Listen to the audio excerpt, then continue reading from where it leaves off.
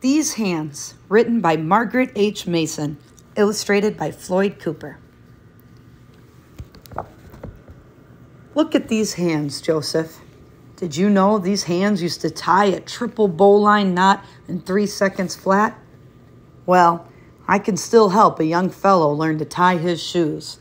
Yes, I can. Look at these hands, Joseph. Did you know these hands used to make the ivory sing like a sparrow in springtime? Well, I can still show a young fellow how to play heart and soul. Yes, I can. Look at these hands, Joseph.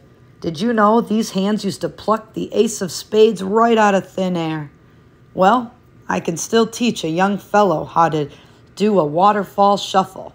Yes, I can. Look at these hands, Joseph. Did you know these hands used to throw a curveball faster than a dive bombing honeybee?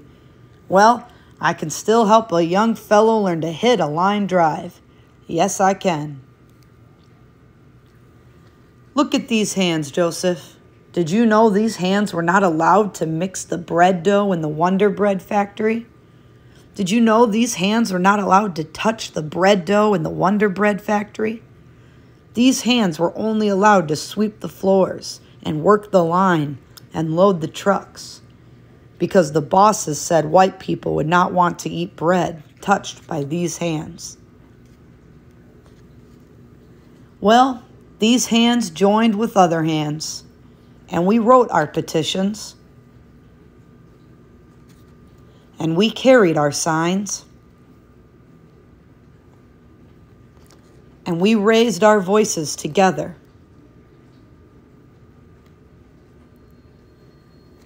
Now, any hands can mix the bread dough, no matter their color. Now, any hands can touch the bread dough, no matter their color.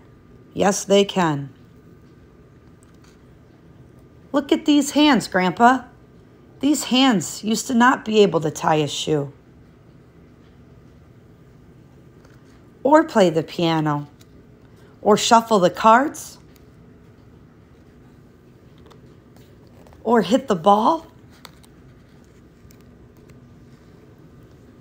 Now I can do all that, plus bake a fine loaf of bread, can I?